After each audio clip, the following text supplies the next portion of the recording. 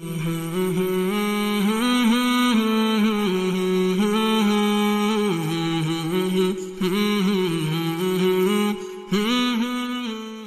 everyone welcome back to my channel this is me Shiny and आज के इस video में मैं आप लोगों के साथ शेयर करने जा रही हूँ ईद के लिए एक सिंपल सा फेस पैक जो आप घर पे ईद के लिए खुद को पैम्पर कर सकते हैं, उसे इस्तेमाल करके।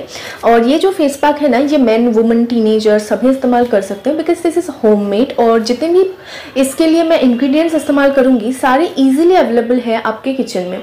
और ये जो फेस पैक है ना, ये आपके फेस से रिमूव करेगा टैनिंग को।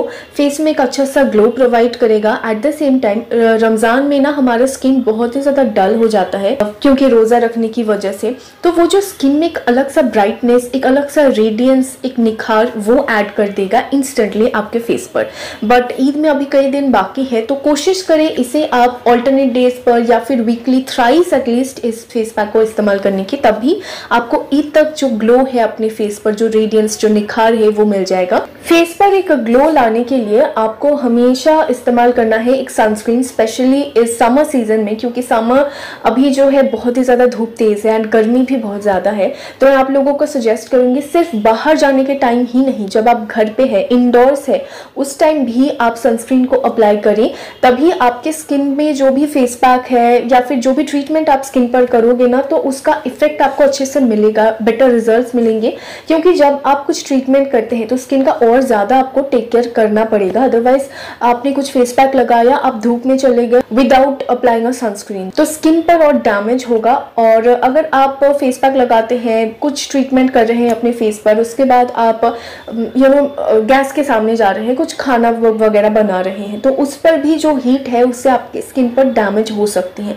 इसीलिए a good sunscreen is a must currently मैं इस्तेमाल कर रही हूँ Lotus Organics plus hydrating gel mineral sunscreen जिसमें एस पी एफ़ थर्टी है U V A protection U V B protection आपको मिलने के साथ साथ मिलेगा पी ए ट्रिपल प्लस का प्रोटेक्शन ये प्रिजर्वेटिव फ्री है एंड आर्टिफिशियल फ्रेग्रेंस फ्री है।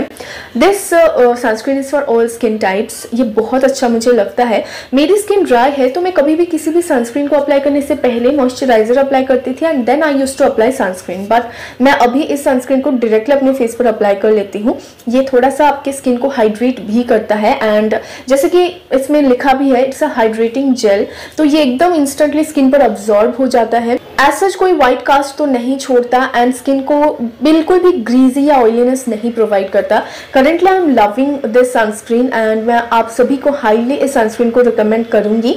एंड इसका जो प्राइस है वो है five forty five rupees for hundred grams इसका भी परचेसिंग लिंक मैं डिस्क्रिप्शन बॉक्स पर प्रोवाइड कर दूँगी। अगर आप चाहते हैं तो इसे डेफिनेटली परचेज कर सकते हैं। सो so, चलिए अब देख लेते हैं कि इस फेस पैक को आप किस तरह से बना सकते हैं घर पे। इस फेस पैक को बनाने के लिए आपको चाहिए दो आमंड्स और एक काजू।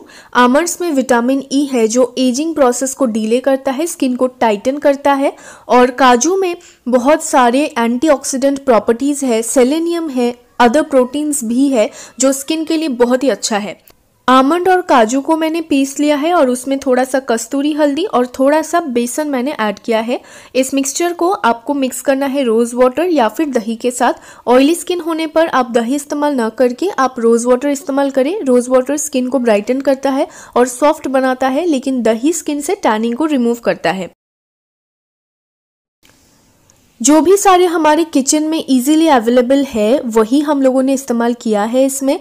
तो ये बहुत ही एक इफ़ेक्टिव फेस पैक है, जो स्किन को अंदर से ब्राइटन करता है क्लियर करता है, और डेली बेसिस पर अगर आप इसे इस्तेमाल करें तो आपका स्किन टोन जो है वो लाइटन होता है और स्किन कम्प्लेक्शन ब्राइटन होता है।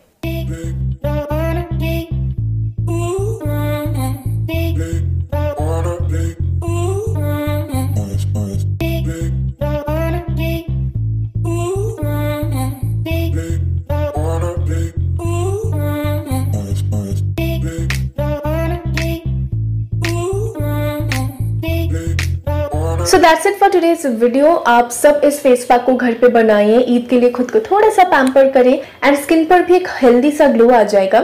आज का वीडियो यहाँ तक ही था। वीडियो पसंद आए वीडियो को लाइक करें शेयर करें and don't forget to subscribe to my channel आज के यहीं स्टे ब्लेस्ड हैप्पी बाय